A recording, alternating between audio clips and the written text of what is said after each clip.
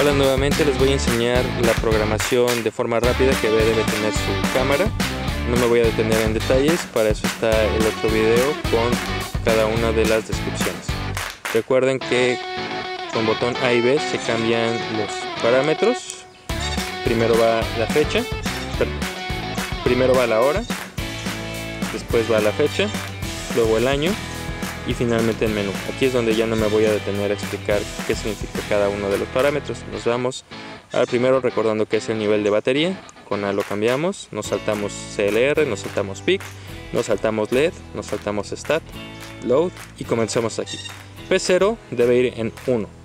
Siguiente, P2 debe ir en 2. P3 en 3. P4 también en 3. P5 en 2. P6 1 P7 1, P8 0, P9 0 y finalmente PA 1.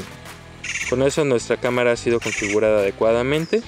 Podemos ponerlo en test para probar que eh, la colocamos bien en el tocón del árbol y si ya está bien colocada le vamos a poner aquí el tiempo deseado del video que pueden ser 15 o 30 segundos.